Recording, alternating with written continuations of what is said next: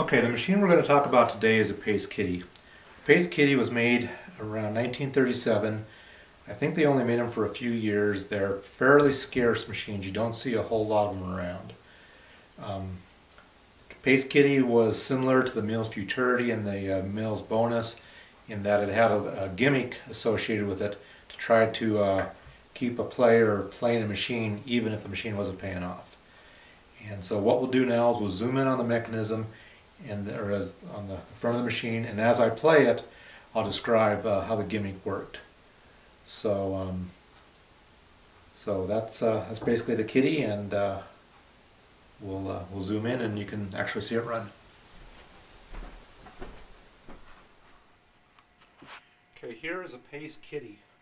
Pace Kitty is a pretty unique machine because it's got a third special jackpot called the Kitty, which is right here.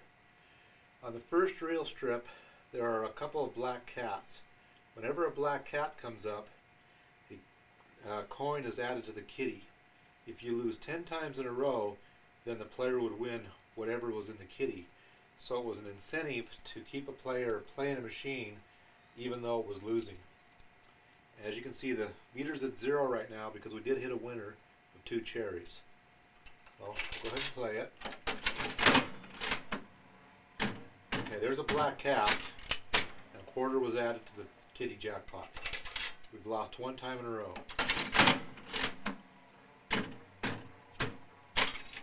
Lost two times in a row. Another black cat came up, another coin added. We've lost three times in a row.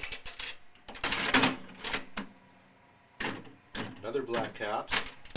So the kitty is getting to have quite a few quarters in it. Lost five times in a row.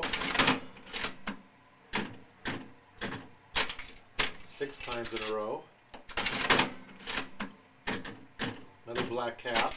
So another quarter gets added to the kitty. We've lost seven times in a row.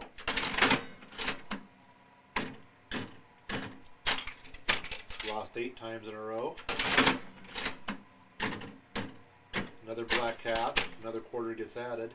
We are now on pull number nine. If we lose this next pull, all the quarters in this kitty jackpot, we will win.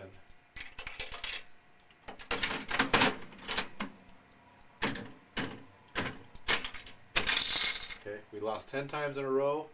The kitty jackpot tripped, and uh, meter went back to zero.